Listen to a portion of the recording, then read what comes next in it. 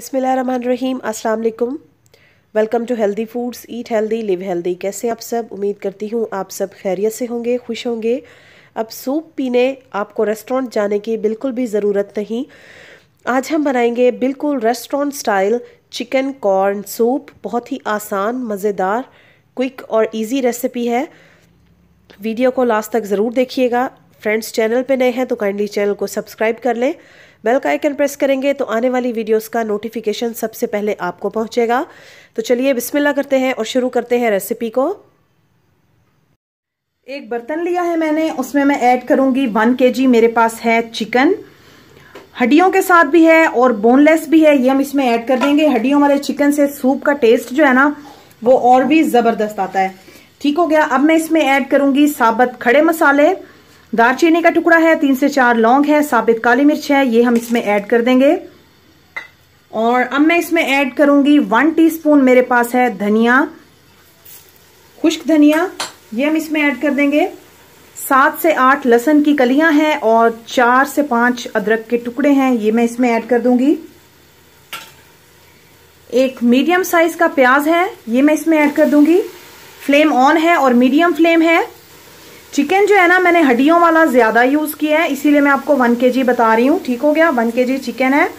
अब मैं इसमें ऐड करूँगी पानी। पानी तकरीबन हम इसमें दो लीटर के करीब ऐड कर देंगे। पानी दो लीटर मैंने इसमें ऐड कर दिया है। अब मैं इसमें ऐड करूँगी वन टीस्पून मेरे पास है नमक। ठीक है? और इसको अब हम कर लेंगे मिक्स अच्छे तरीके से।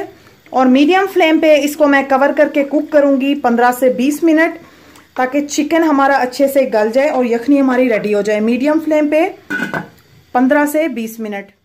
15 मिनट हो चुके हैं तकरीबन। यखनी हमारी रेडी हो चुकी है। फ्लेम ऑफ़ कर देंगे। यखनी को छान लेंगे और चिकन को जो है ना हमने छोटे छोटे पीसेस में कन्वर्ट कर लेना यानी कि श्रेड कर लेना है रेशे बना लेने हैं इसके। ठीक हो गया? एक बाउल लिया है मैंने उसमें मैंने लिया है टू टेबल स्पून भर के कॉर्न फ्लोर और थोड़ा सा पानी हम इसमें ऐड करेंगे और इसका एक मिक्सचर हमने रेडी कर लेना है। इस तरीके से हम इसको मिक्स कर लेंगे और लम्स फ्री मिक्सचर जो है ना, हमने इसका रेडी कर लेना है। ठीक हो गया?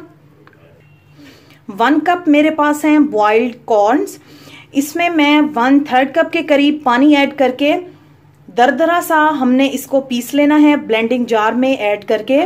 बस इतना सा ही ना हमने इसको पीसना है। पेस्ट फॉर्म में इसको नहीं लेके आना, ठीक यखनी को मैंने छान लिया है और इसको मैंने कर लिया है एक कढ़ाई में ट्रांसफ़र तकरीबन डेढ़ लीटर हमारी यखनी है। अब चिकन के जो है, वो मैंने श्रेड कर लिया है चिकन को।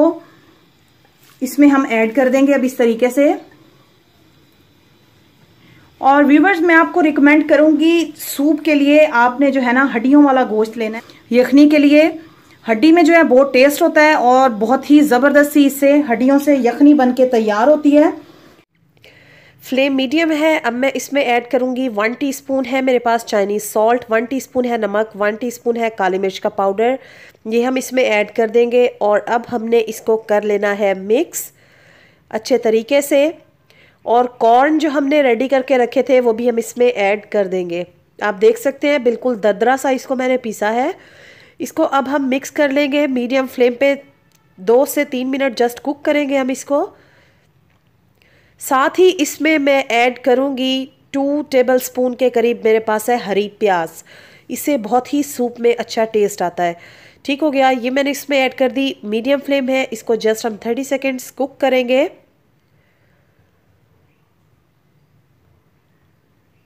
ये अच्छे से हो चुकी है मिक्स अब मैं इसमें ऐड करूँगी जो हमने कॉर्न फ्लोर का मिक्सचर ऐड रेडी करके रखा था ना, वो हम थोड़ा थोड़ा सा वक्फे वक्फे से हम इसमें ऐड करेंगे। मीडियम फ्लेम है और साथ के साथ हमने इसमें चम्मच चलाते जाना है। चम्मच आपने नहीं रोकना। वक्फे वक्फे से हम इसमें इसी तरीके से कॉर्न फ्लोर ऐड करते जाएँगे। बाकी सारा भी मैं इसमें ऐड कर दूँगी और इसको हमने कर लेना है मिक्स अच्छे से। मीडियम फ्लेम पे अब हम इसको थिक होने तक कुक करेंगे। अब मैं इसमें ऐड करूँगी टू टेबल स्पून मेरे पास है सोया सॉस और साथ ही इसमें मैं ऐड करूँगी तकरीबन वन टेबल स्पून के करीब सिरका है मेरे पास। चिली सॉस इसमें ऐड नहीं होती। अगर आपको पसंद है तो आप इसमें ऐड कर सकते हैं। अब हम इसको मिक्स करके कुक करेंगे थिक होने तक। ये देखिए सूप हमारा थिक हो चुका है। मैं आपको चेक करवाती हूँ। जस्ट इतना ही हम इसको थिक रखेंगे। इससे ज़्यादा हमने इसको थिक नहीं करना।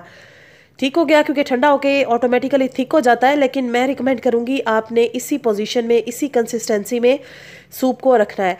अब दो अंडे की सफ़ेदियाँ ली है मैंने, उसको मैंने फेंट लिया है। फ्लेम हाई कर देनी है और हाई फ्लेम पे हमने इस तरीके से अंडे की सफ़ेदियाँ जो है, इसमें ऐड कर देनी है। अब अंडे की सफ़ेदी के साथ इसको जस्ट हमने 30 टू 40 सेकेंड्स कुक करना है, ताकि अंडे का कच्चापन जो है ना वो ख़त्म हो जाए सूप में। जस्ट 30 से 40 सेकेंड्स हाई फ्लेम पे। ये देखिए, ये कुक हो चुका है। इसको अब हम निकाल लेंगे डिश आउट कर लेंगे। आप देख सकते हैं सूप हमारा हो चुका है तैयार। तो लीजिए, माशाल्लाह, अल्हम्दुलिल्लाह, गर्मा गर्म हमारा soup restaurant style chicken corn soup हमारा बनके हो चुका है तैयार। रेसिपी को ज़रूर ट्राई कीजिएगा, कमेंट्स में काइंडली मुझे फीडबैक ज़रूर दीजिएगा, आपको मेरी रेसिपीज़ कैसी लगती हैं। दुआ में याद रखिएगा, अपना ख्याल रखिएगा, खुश रहिएगा, अल्लाह हाफिज़।